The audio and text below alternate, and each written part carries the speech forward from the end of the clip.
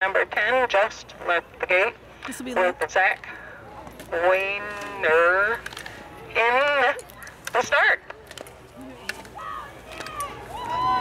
Come on, Luke.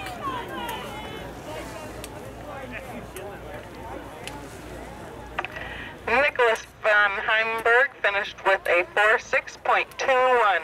Bib number 78, Nicholas von Heimberg, finishes with a 4.6.21. 4.6.21.